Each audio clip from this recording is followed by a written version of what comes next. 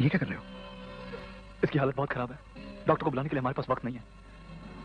इसलिए इसे बचाने के लिए जिसम की गर्मी देना बहुत ज़रूरी है।